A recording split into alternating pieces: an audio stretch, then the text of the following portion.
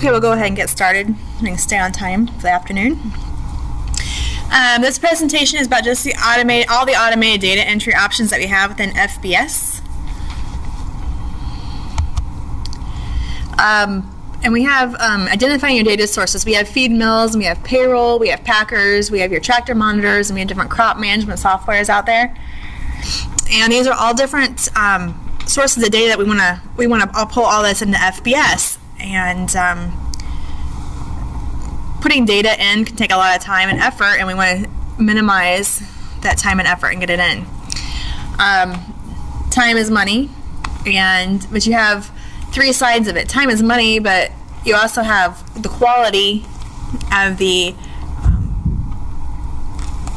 end, end result too. So you have to be able to balance those three things: your time, your money, and, and your quality of the end product. So when you're um, hand entering your your time and your employee's time is money. If you calculate on ten dollars an hour and it takes you an hour a week to input feed tickets, you're spending five hundred and twenty dollars on just inputting feed tickets. Um, but then you have to ensure the quality of your data. Humans make mistakes. And if you estimate an hour a week for editing incorrect entries and double checking the data that you entered, that would be an additional $520 um, a year just on your feed ticket. So, um, what, that's $1,040 a year total on, on entering just a feed ticket, and that's using an hour a week and $10 an hour. If you import your data, um, the average time to import data is a minute. Um, the cost to import your data through um, buying one of the import modules, um, or at $10, an hour, the cost would be $8.32 a year for importing that data using that $10 per hour rate. Um, since you have no human putting the data entry in, you have more better quality data you might actually take a few minutes to review the transaction report. So I gave five minutes a week to review your reports, um, and that's $41.60 a year. So the initial cost of the import module is around $1,000, depending on the module. And your update cost every year is around $200. Could be less depending on your support package and your discounts. So your first year cost difference is $9.92 between hand entering and using our import process. Subsequent year savings is approximately $790 a year. And plus, you have an extra 50, 50 hours a year your employee can be working on something else.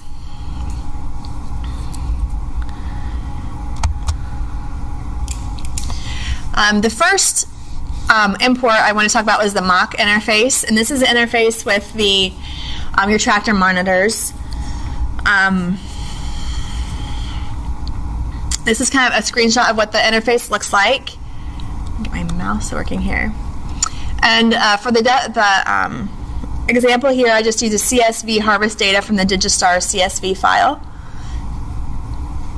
And these are the screens that come up. And um, here's the description that comes off the file from Digistar.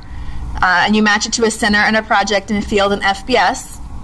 Um, this mapping only has to be done once unless you change the description in Digistar or whatever monitor it might be. And um, then up here, once you have all this mapped, this is what's going to come across for that field. It has the date, the field, um, the acres, the moisture, the dry quantity, the wet quantity, and the net weight. Um, so you pull this the CVS file from your monitor, bring it to FBS, tell it where to look, find the date range, do the mapping, and it comes in. Oops, I lost my mouse again here. Sorry. Uh, currently supported uh, through the Mach 2 interface are Ag Leader, Apex, Trimble, Digistar, um, the, the, old Conservis interface, and Granular interface. The, the, the old Conservis interface is where you take an Excel file from Conservis. We do have a new interface that we'll show at the end, but there is always the old option there as well. Uh, the second kind of interface we have is our mill interface, and this can be commercial mill or feed mill. Um, the difference between the two mill interfaces that we have is commercial mill um, come, creates either, uh, an accounts payable entry as well as the the smart feeder entry. The feed mill interface only creates the smart feeder side of things. Um, again, you get a file from the mill, and depending on the mill, it could be either EDI, Excel, text, or CSV. Um, then you come and you map the what they call the ingredient at the mill to what they what we call an FBS or what you call an FBS. You map your rations. Comes over as a called one thing on the mill, and you map it to what it is an FBS, and the location. You get location from the mill, and you map the center and the group.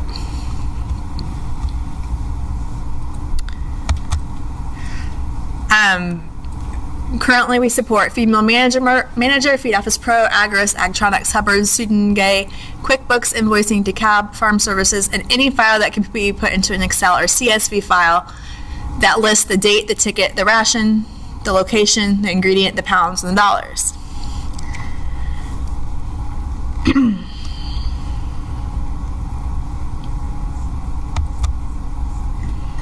all these, you can notice all these um, imports work on the same premises. You do the mapping, get the file from the, the other vendor, you map it, and, and then it comes over in FBS. Um, packer file the same way. Um, you get the file from the packer. These traits you already have set up, you so you have um, you know, hog sales is equivalent to hog. You know, what what's your ledger count in FBS for hog sales uh, for all your premiums and all your back fats and yields, and um, further down there's also the uh, ledger accounts for the weight classes. You usually get a tattoo number from the packer. You map that tattoo number to a center and a group within FBS, and it imports your um, your kill data and creates an accounts receivable with the Packer interface. The current Packers that we uh, support right now are Tyson, Hatfield, Smithfield, Indiana Packer, Triumph, Excel, Cargill, Swift, Farmland, Clemens, Carolina Pride. Um, but if we, if you have a Packer you work with, um, and they can get you the, the information, necessary information, and in Excel format, we can we will work to bring that in.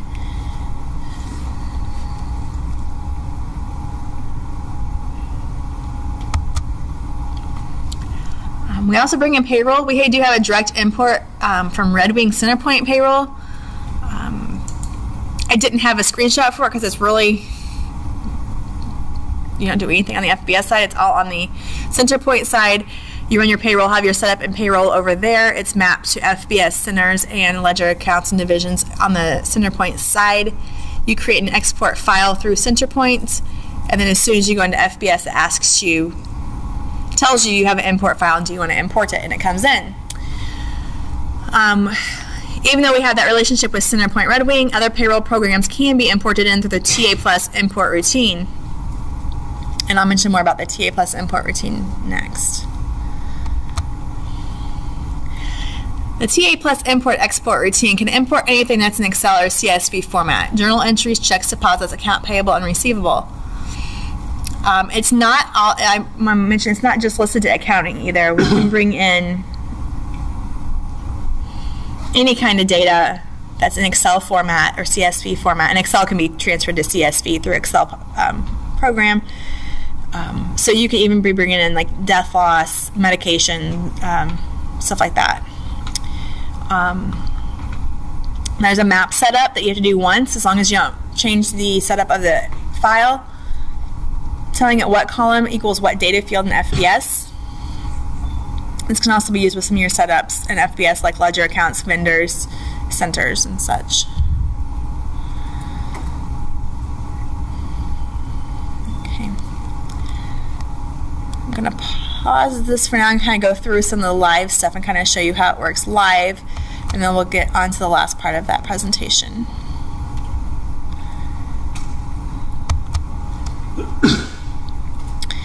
Um, so the uh, commercial mills and stuff is all the imports, commercial mill packer, um, Mach 2, and the Conservis and TA Plus is all under the import export menu. This is just the basic feed mill interface. Scoot down a little bit. Um, these are for like on-farm mills. that you would have where you're not creating an invoice anywhere, you're just distributing the feed. These are the options that we have, the different vendors that we've worked with. Um, you tell it where the file is saved, you give it a date range. Um, if I had a file here, it would, it would load the meal rations on the left hand side, and I tell them what mash, rations those match with an FBS, and it transfer across. Um, one difference here in the um, feed mill interface compared, compared to commercial mill is that you just have ingredient numbers. Um, so the first one listed, second one listed, third one listed, and what ingredient that is in FBS. So there's not actually a name on the feed mill side that you map to an FBS. So the commercial mill is one step above that. This is when you get your invoices from out, um, either outside mill or a mill within that you're charging maybe your mill's in a different company and you're charging your your feeder company from the mill company and you want to create an AP. Um, most of these times these are off-site, independently owned mills. And here you can see that um, these are the mill ingredients as show up on the file. So if I was going to look at this file, it's a simple file. Let me get to that.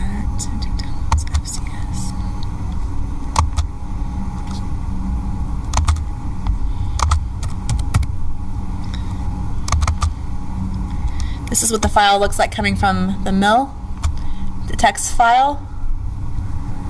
It grabs up out of the headers the different locations and we have our ingredients and it pulls that across.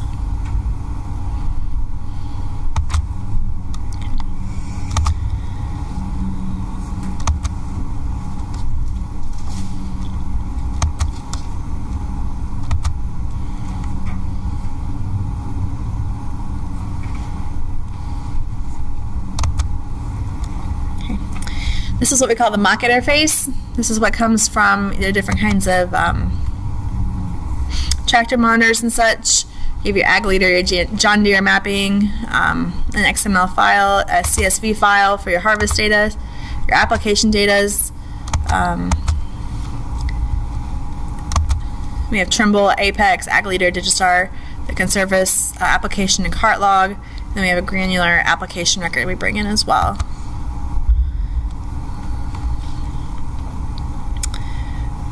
And you pick your source over here. Tells me on this one I have 178 things I need to map. My field map. So for each of these lines, and there's several lines here, um, yeah, I'd have to map up each of these 24 lines uh, with a center and project and field in FBS. And go through all those. I told them I didn't map 175 of them, and that's okay. Then you also map the chemicals here. Um, so like on this 1034.0, I tell it was fertilizer, and then I have to find um, an equivalent, my equivalent here that's already put in FBS. You don't have to be in FBS already on this screen, um, or I'd have to go in and set up and add it and then and reopen the screen to get the um, fertilizer to show up. And this is the we'll, show the, con, the um, Conservis interface here in a minute, but this is a, the biggest one of the bigger differences between doing it the old way through the Mach interface and the newer Conservis type interface we have is that you have to have everything already in here where the Conservis will bring in and let you add on the as you bring it in, bring it across.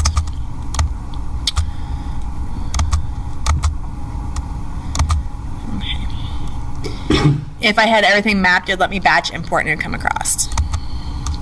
Initial setup on that takes takes a little bit of time, obviously.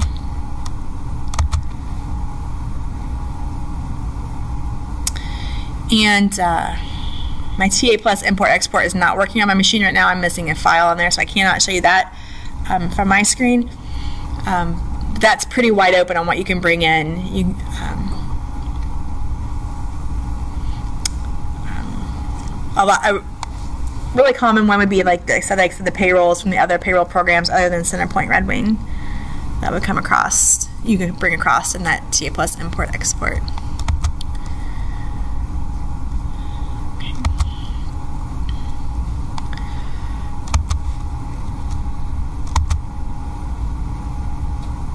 Okay.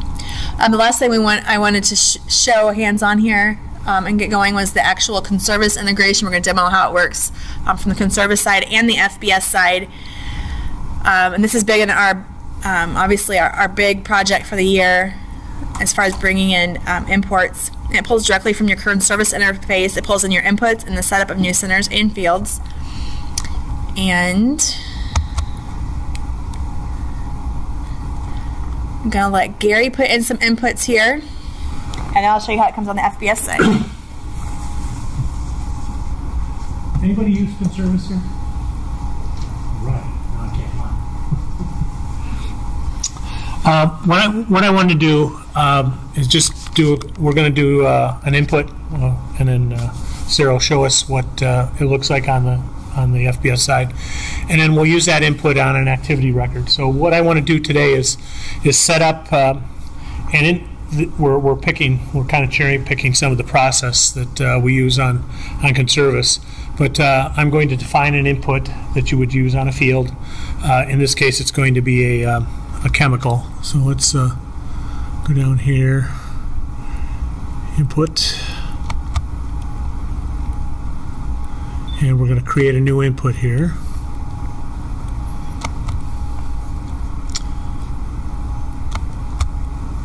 Make it, it's a chemical, and we'll make it a herbicide. And uh, let's spell it. I've never used this. I've never used this keyboard in my life.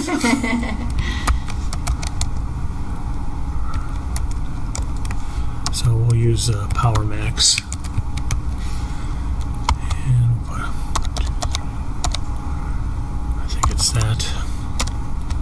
Doesn't matter. Um, we'll uh, do this by volume, and we'll make our default uh, inventory units gallons in our application. So that's what it takes to create an input in, in Conservis. And I'm done. So, Sarah, okay. show us the magic. FBS will pick up all that setup so you're not having to type it in twice.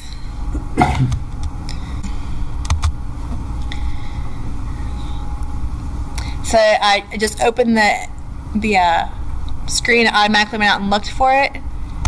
I can click through here to see what's new. Right away I see it's this uh, Roundup Power Max. I click on Quick Add.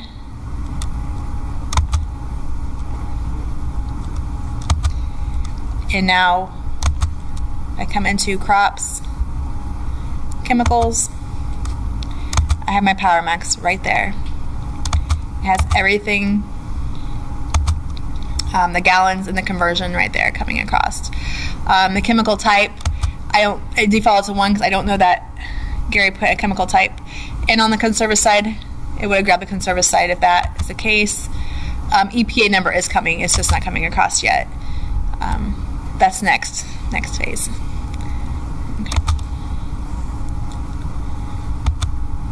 Okay. Okay.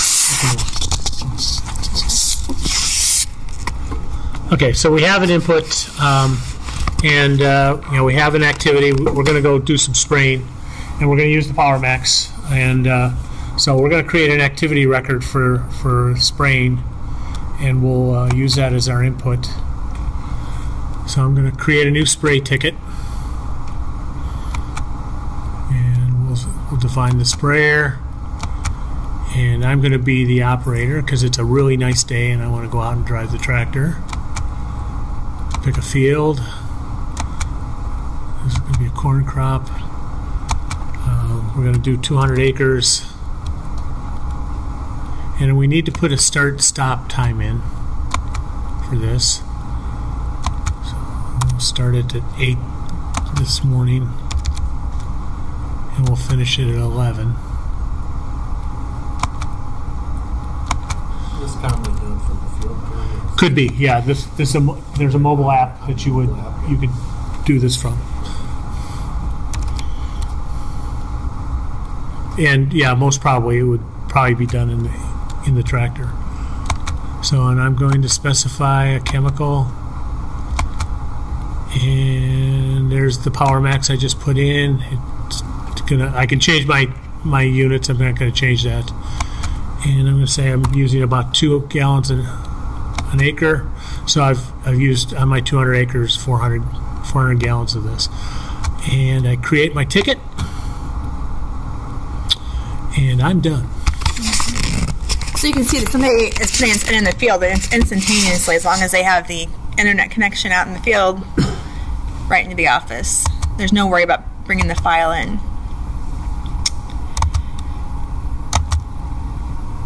Okay. I'm gonna stop and come back in here.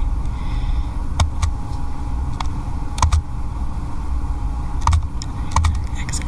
Oops. Is it closed out there?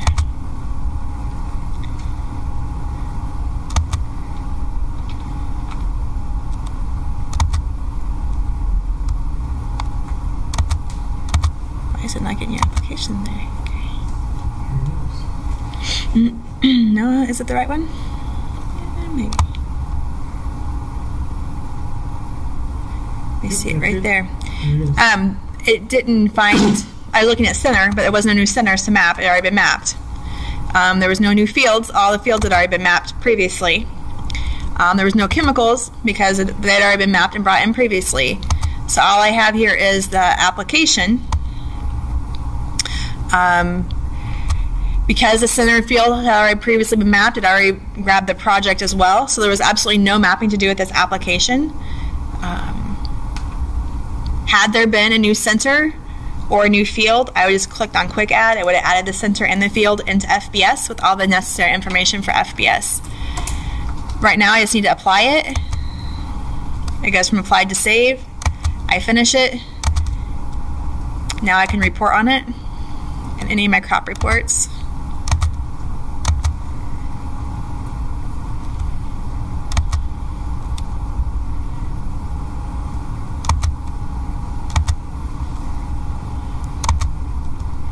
It shows my application, my Power Max there.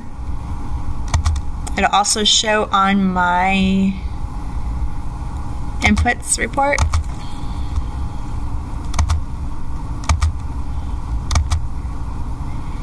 My application, my 400 gallons of my Roundup Power Max.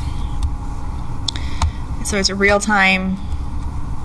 And anybody who's in the in the um, end of the day yesterday, I heard Martin say that right now we do have to go to input and Conservis interface, but uh, version 11 of FBS, that would be behind the scenes. It will just pop up and give you a message if there's something you have to map. Otherwise, you'll never even see, once you have things mapped, you won't ever even see that um, screen in FBS. Um, One question, sir. yeah. Is this looking like, um, if you had already purchased the Power Max, and, you know, you had purchased the five hundred gallon thing, then that that Yeah, we're pulling just applications out of Conservis. So yeah, that would uh, you wouldn't have had if that was the case, and we already had PowerMax and FBS. Um, you would have mapped. Hopefully, we've already had it mapped between Conservis and FBS. Had you not, you would have mapped it instead of quick adding. You would just mapped it to match the PowerMax um, that he added and, and Conservis to an existing input in FBS, and the application would have um, just pulled out of the existing inventory. because I'm envisioning that most people will probably do that pre-purchase of their chemicals in the accounting system. You'll keep track of your inventories in both systems. So, Right. Yeah. Yeah. Yeah. The purchases will still be because you'll still keep a. You'll reconcile your two inventories between Conservis and FBS, but both of those will still have records of all your purchases and applications. So it will, even though you're not typing it into both places, the applications, both both systems will still be tracking all those applications. And so Conservis will get the purchase record? You'll have to put the purchase in the Conservis separately. The purchases will have to be in, in both systems at this time. and then it, you know, we're working on the piece where, you know, you, you, you could put the purchase in, in Conservis and we'll, we'll flow that data into FBS. Mm-hmm. Well, So- I'm, I'm I'm saying we'll be writing the check Yes, out of FBS. Yeah. yes.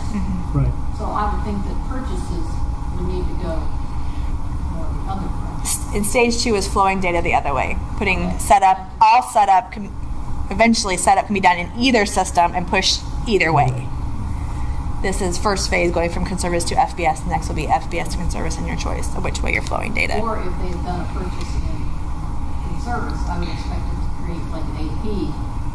Yeah, and and yeah, Yeah. Mm-hmm. yeah, yeah. So is the data in the cloud then for both systems? FBS is not in the cloud.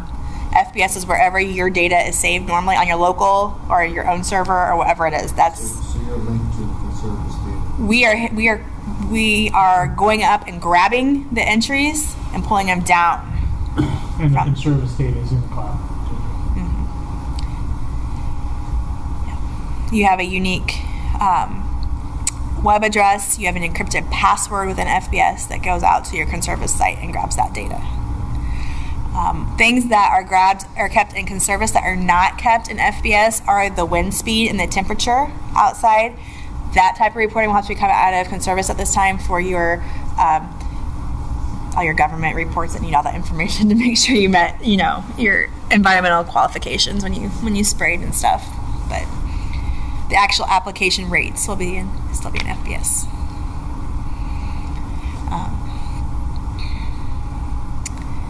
any other questions on, the Conservis interface or any of the inner any of the imports? I know it kind of went fast, but that's kind of the point of imports. I have a question, and I may be jumping the gun, but if we do an integration to Conservis, Mhm. so then does that data flow back down to the FBS? Skip to the Not, not scale tickets, not at this point. but that scale ticks are part of harvest, That's harvest. and that's the, that's the absolute that's the one we're almost got done. Yeah, Harvest will be done It was hoped to be done by harvest time. right. and we will I be I think, I think the Conservis side is ready and it's, you know. Martin's still working on it, to- yeah. To finish that up. But I'm not sure about the, uh, it should be the, should be those tickets should go. I think that would flow. yeah, we flow somehow into the Conservis data set and the data. Well, we would, yeah, we get it We're already in sending through, it up. like, we- yeah, we have, we have a Right. integration with vertical and then, and then as the tickets come in, then it would flow down Mm-hmm. because you would see them. yeah, yeah. hmm So you just have input. It's done. Input. It's not harvest, is that what you're saying? Yes, yeah, inputs are, inputs are done, um, and then the, the applied, as applied data, the tickets, uh, activity tickets are done now, and that's all available, Yeah. and, uh, we're, we're real, we're close. We're on real close on the harvest. So, we, we thought we'd finish up this year and then have the, you know, when the harvest starts in earnest, we, we think we should be. in First of. October, I Yeah. think, the very latest. Right, We can probably make that represent it two ways, because some of those are stored. Oh yeah, Mm-hmm. it's just in when we, we kick it off to, you know, how we would kick it off to, to FBS. Yes. Probably some dumb questions here, just waiting for you to use FBS. Mhm. So when you bring in the Packer data, is the money being ACH as well? You could. You could if you so you bring in your what um, for your Packer data. Would be create the AR um, I'm just crazy deposit. Or or deposit. I guess on the on the Packer data wouldn't be ACH. So they actually still getting a check You still get a check. Sorry. Yes. Yeah, I was thinking AP side of things, not the AR side of things. So. What about on the grain side? Have you guys done anything like ADMs and pull that in? No. Mm-mm. We because we aren't hooked to the bank. We aren't hooked to your bank at all. I mean, you have to send the file to the bank for any of the ACH stuff. There's no way for us to send anything to your bank like that. I mean, fr- from the vendor to the bank. But I guess my question is, can you pull on that grain information? Oh, the grain. If you can get it um, from ADM, if you can get that grain information in a CSV file or Excel file, we could pull it in. And so can you break it out if you do the packer? Uh, if you have seven, like the whole log, would, whole load was 175 came from one center, one group. As long as they 25. tat, as long as they tattoo them differently. Okay. If, if the packer part of that. If the, yeah, as long as the packer will tattoo them and keep those separate. Yes. Yeah, we might have three legs of hogs go down and, you know, two of them for one farm, one for. Mm-hmm. I mean, they, it comes in separate. It's just we have had some packers who say if they come on in one truck, that's a lot. So you know they'll all tattoo them all the same. Um, obviously, if you had more than one group in that truck, that's an issue. But as long as the packer is willing to work with you and tattoo them based on how you want to separate them, then you're fine.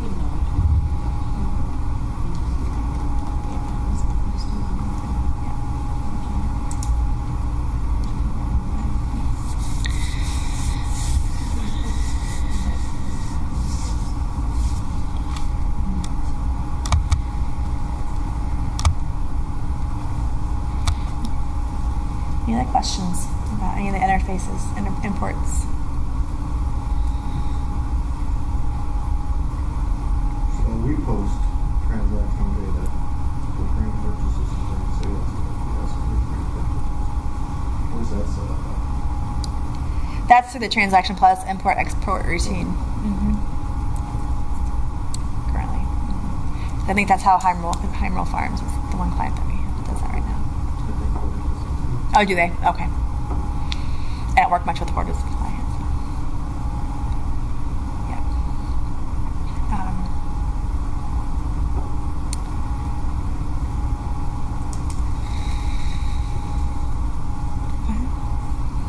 Just Sorry. Sorry, it was a kind of quick presentation, but yeah, you, that's what you went with imports. it's time saving. Um, so there's not much to show. We try to make them quick and easy. Um, I might say this, that on some of those imports, um, for instance, the Packer import, the traits, that's mapped once. You don't map that every time. Um, but that, that's saved, so all, all you have to do is map the load to the group, from the tattoo to the, the line. Yeah, a- and the same on the on the mill, the commercial mill files. As long as the mill doesn't change their description of the group center and group, once that's mapped, it stays mapped. You just have to add, uh, look for new ones. You click, click on load from actual, and the new ones show at the bottom, and they show unmapped. So as long as they don't change anything in their descriptions, you're not mapping that much every time. Just when you add new groups to your to your barns. Um, and even in like on any of the interfaces, the you know the Conservis, you the first time a new crop shows up in Conservis, you have to map it or create it in FBS. Once that's mapped once, you don't do it again unless you change something in the ID. Is that the same with some of the other, like Ag Leaders? Yeah, all of them. As long as you don't change your Right. So your long as- location description, Yeah. then you don't have to map it again. Field, it, it remembers.